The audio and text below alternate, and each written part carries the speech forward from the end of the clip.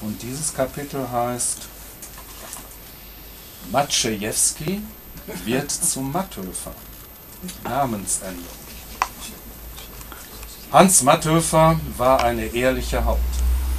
Und so verdanken wir ihm auch Einblicke in einen Aspekt der jüngeren Geschichte des Ruhrgebiets, der in den meisten betroffenen Familien ein Tabu darstellte.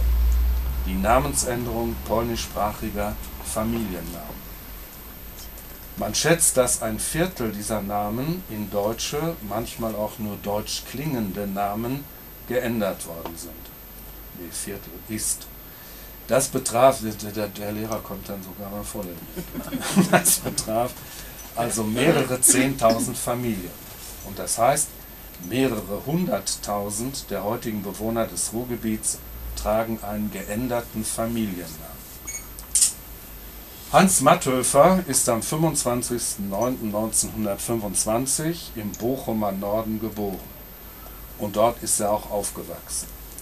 Sein Vater Johann Jahrgang 1901 und nicht sein Großvater, wie man wie in der neuen Biografie von Matte versteht, nicht der Großvater Lorenz Maciejewski, hat vor der Geburt seines ältesten Sohnes Hans den Namen in pardon, Matthöfer ändern lassen.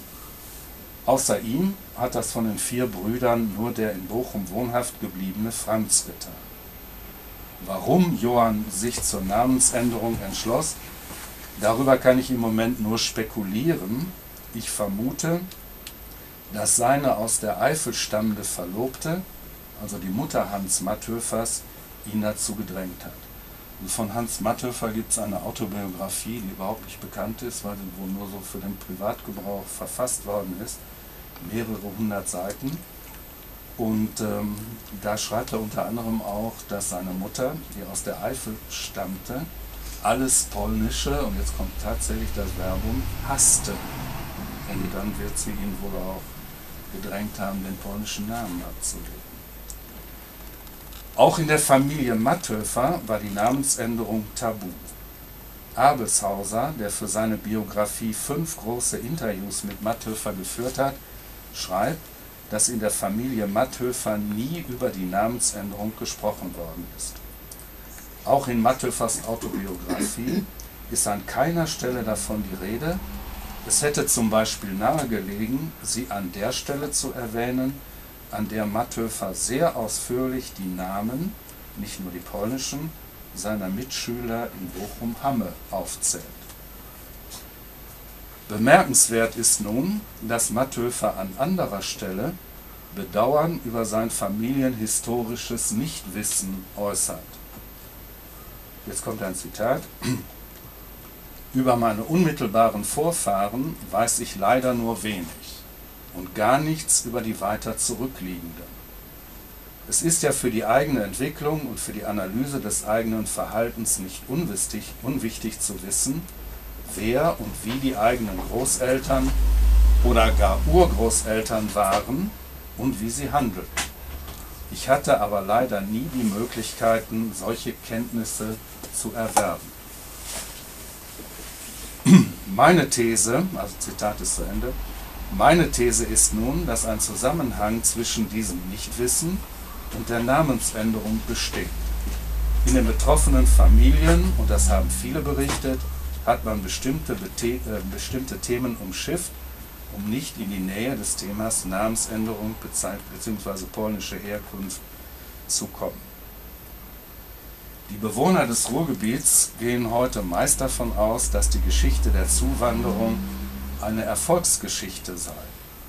Das manifestiert sich etwa im Bild des Melting Pot. An diesem Bild möchte ich nicht kratzen, aber der Beitrag der verschiedenen Bevölkerungsgruppen war sicher unterschiedlich groß.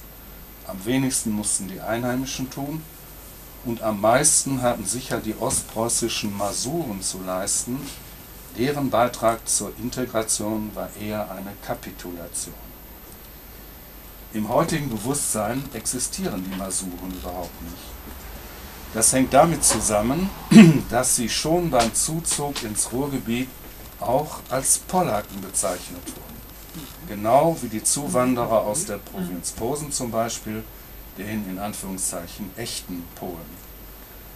Das ist ungefähr so, als würde man deutschsprachige Schweizer in den USA als Deutsche bezeichnen.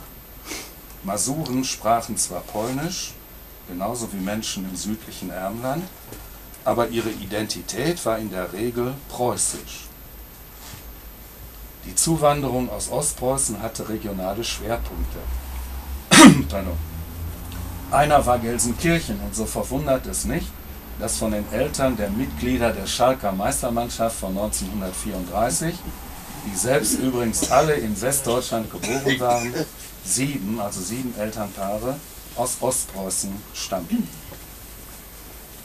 Ja, jetzt kommt noch drei, kommen noch drei Abschnitte, Abschnitte, die nicht so interessant sind, aber was so diese Kapitulation betrifft, da will ich doch die Anekdote von Ernst Kuzorra erzählen, den ich mal, weil ein auswärtiger Besucher der Ruhr-Universität unbedingt das Vereinslokal von Schalke besuchen wollte, den haben wir da mal angetroffen oder getroffen und sind auch mit ihm ins Gespräch gekommen und da hat Kuzorra gesagt, er habe sich sein ganzes Leben lang dagegen gewehrt, als Pollack bezeichnet zu werden.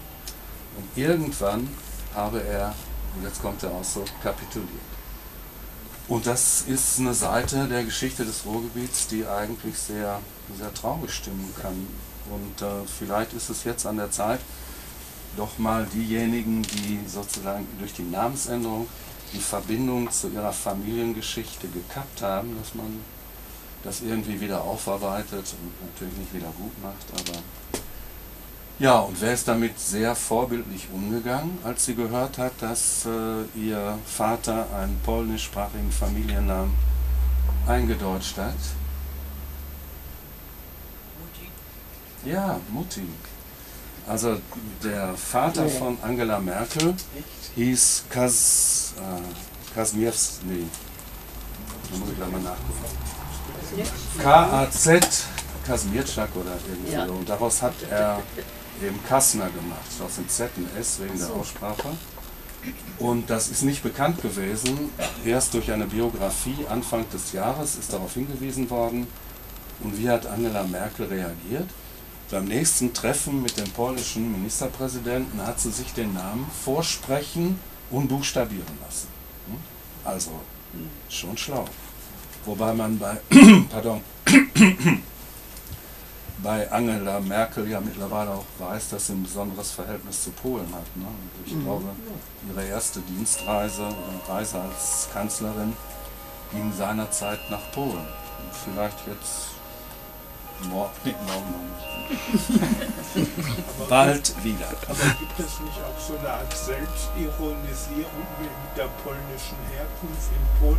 Es gibt ja solche künstlichen polonisierten Wörter.